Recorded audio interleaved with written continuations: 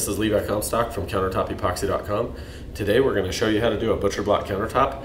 We're going to go over how to build the butcher block countertop and again I'm going to explain to you that I have never done this before in my life. I've never built a butcher block, but I have built quite a few wood tops um, and barnwood and all different types of material.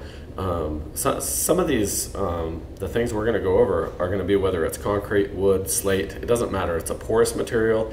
You're having to try to get it flat. You're leveling it. You're trying to seal it so the air doesn't come out um, and mix enough product to actually get a flood coat. So this one is a pretty fun project and you'll see kind of our journey that took us two full days to actually complete this countertop. But it looks pretty amazing and I think we're going to turn it into a coffee table. So come with us through the process and watch how we did it. Um, thanks. Um, I got a bunch of pre-made sticks that have three sheets, three essentially boards laminated together and I bought these at Lowe's. And all I did was ran them through the chop saw and chopped up a bunch of squares. Um, I used a guide, I set up a guide so they're all the same length. So they should all set and stack out pretty nicely. Um, there's poplar, I believe this is, and oak. Um, so what I'm gonna do is I'm just gonna mix and match these um, back and forth and I'm gonna try, I don't know if you guys can see, but lengthwise there's a kind of a pattern and I'm just gonna try to tee these all into each other so they're all alternating patterns. And a few of them I cut a little bit shorter. And what I'm gonna try to do is build around it with the other ones and then fill these with a cool color like turquoise or copper or something. So um, I'll go ahead and get started. What I'm gonna do is I'm gonna place these all out on the table and I brought some ratchet straps. And like I said, I've never done this, but I guarantee it'll look cool before I quit. Um, and we'll strap it all together and we'll use epoxy for it and put them all together and see how cool we can make this look.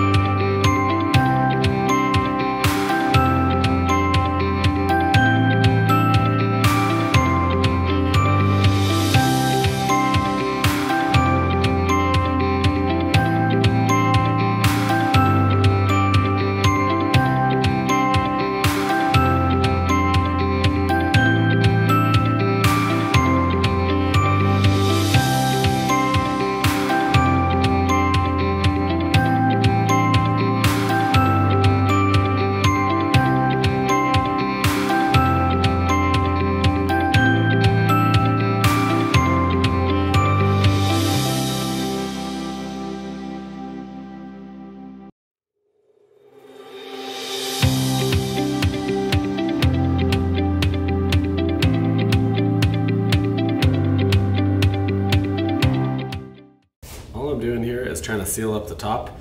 And if nothing else, this is gonna bind this together enough and hold all the blocks together so I can flip it over tomorrow.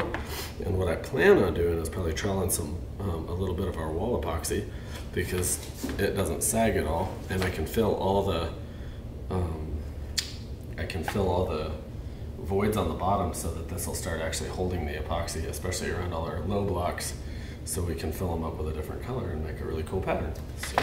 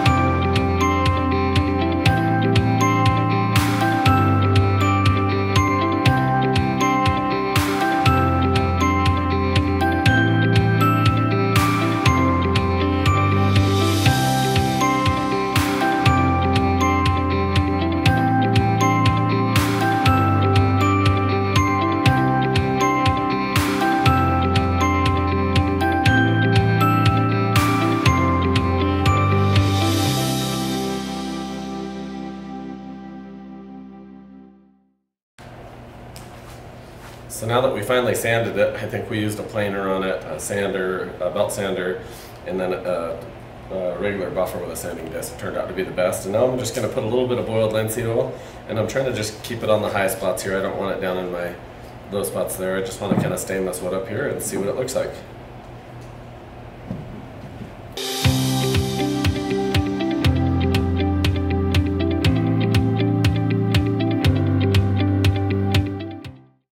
Okay, so now that we have it sanded, we took it back over to the office so we can, we're not gonna be making that much dust anymore. And we went ahead and we're mixing some epoxy with some translucent gold and some with some light turquoise. And we're gonna fill the squares that we left low and see what we get. So I just decided to go ahead and pour it all out on here and I'm gonna fill all the cracks and um, use a putty knife kind of to squeegee it in. Fill all the those spots and the voids and see what we get out of this.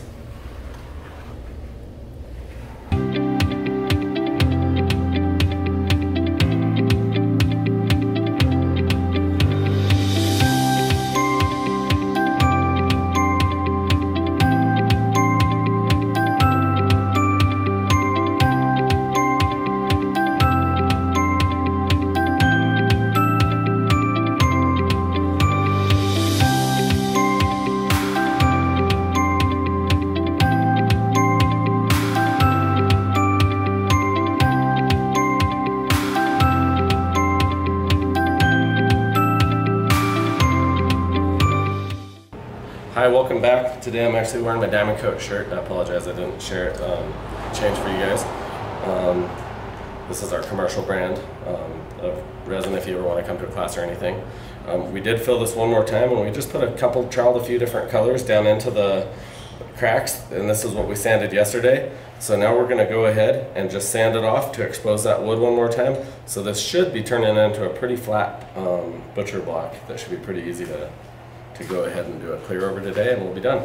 So we'll see how this goes.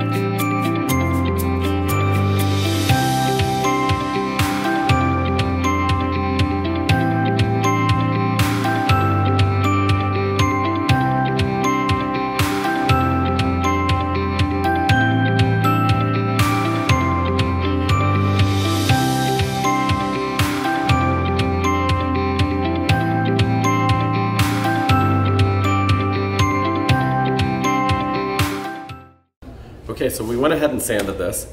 Um, from this point right here, this is a butcher block that we built. But from right here, it would be the exact same process if you built if you built a butcher block in the same steps that we showed you, or if you had an old butcher block in your house, a butcher block countertop. Um, you can always take a nasty old butcher block, um, try to get all the oil and the grease out with some isopropyl alcohol. I usually use 91% um, isopropyl. It's a low percentage of water, so it'll actually pull any um, oils and water and attract it to itself and you can clean it off. Then I would just sand it, um, get the look you want, make it look pretty. And what we're gonna do right now is a skim coat. So from right, right here, you could just be skim coating, um, which is a very thin coat of epoxy. All it's meant to do is um, soak into all the wood um, and block it. Now that's gonna stop right there. If you wanted to quit right there, that's fine because at that point, that's a very long-term sanitary countertop um, and it's not going to let your chicken juice or whatever you cut on it get down into the wood and actually uh, mold or anything. Um, you also, from right here, um, you could do the skim coat, which will block air bubbles, and pour a flood coat. If we did pour a flood coat right now, anything that's porous like wood or concrete, if you just go right straight to a flood coat and you pour a really thick epoxy coat, it'll look really beautiful, but air will just keep coming out of that wood. It'll just keep air bubbling into this. Um, so the way to get rid of that is seal it with a really thin coat that's so thin that if air goes up into it, there's nowhere for it to get trapped, so it'll just keep pushing through. So here we just mix 16 ounces, which is probably a lot more than we need. And we're gonna trowel this around on here. Um, essentially just work it in to the surface so that it really seals it up.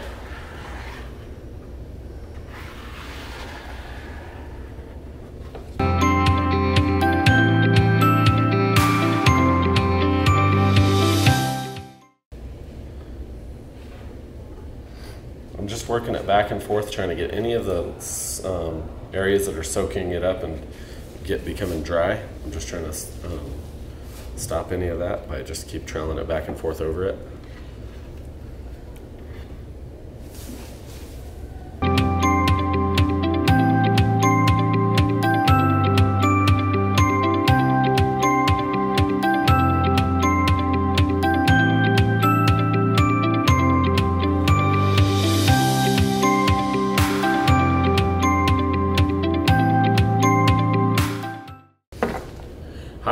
So about three hours ago we went ahead and sealed this with a skim coat.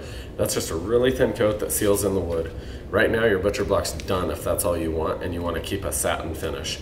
So if you don't want to see any gloss and you don't want a sheet of epoxy on top um, for a real high gloss, um, you could probably stop right here. We're going to go ahead and do this a little more decoratively. So we're going to pour a flood coat, which we already mixed, over the top and spread it out evenly. Um, it's going to add a little three-dimensional aspect to this, but if you cut on it a lot, you definitely will get some little cut marks. Um, you can polish those out with time. It doesn't really matter. Um, I've had a pretty old cutting board in my house for a long time that I did this with, and you definitely can tell where you cut, but it's actually, it's definitely not ruined and it's very sanitary. And because I coated both sides of it, I can throw it right in my dishwasher and it's never, it never damages it or anything. So, um, this is a little too big for the dishwasher, but we're gonna go ahead and finish this and see what kind of sheet of glass we can get on this and just see how pretty we can make it. So here we go.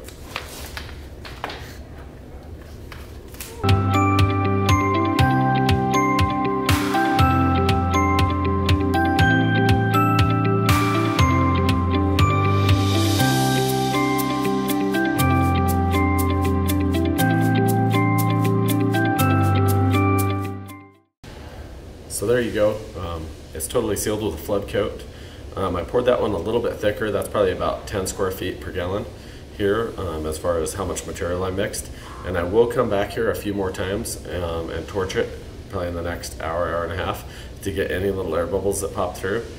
Um, again, you would use this very similar product process whether you're building a butcher block or a plank countertop or almost anything else.